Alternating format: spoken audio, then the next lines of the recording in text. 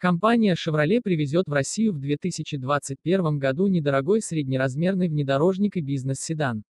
О грядущем расширении линейки бюджетных моделей заявил Вадим Артамонов, исполнительный директор фирмы Келес Рус, официального российского дистрибьютора автомобилей Chevrolet узбекской и казахстанской сборки.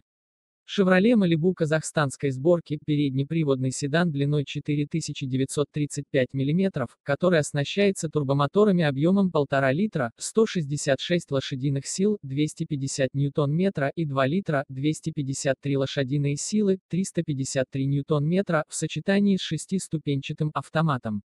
Оба двигателя адаптированы под бензин i92.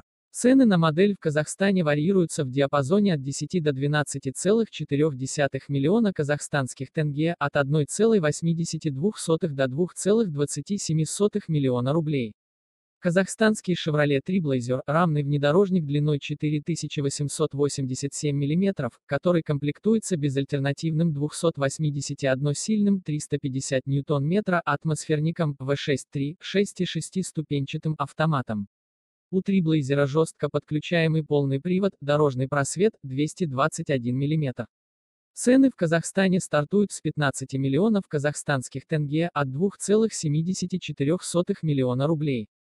У недорогих моделей Chevrolet, которые уже поставляются в нашу страну, в 2021 году появятся новые комплектации. Гамма Chevrolet, официально доступных к заказу в России, расширится до 7 моделей, внедорожники Tahoe и кроссоверы Traverse продолжит поставлять General Motors Россия, а дистрибуцией автомобилей узбекской и казахстанской сборки займется Келес Рус.